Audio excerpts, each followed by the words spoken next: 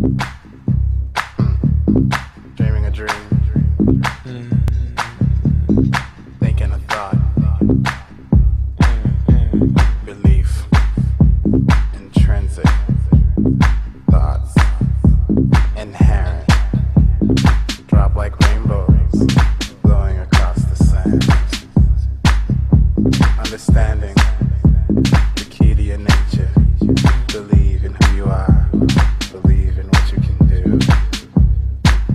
Yourself.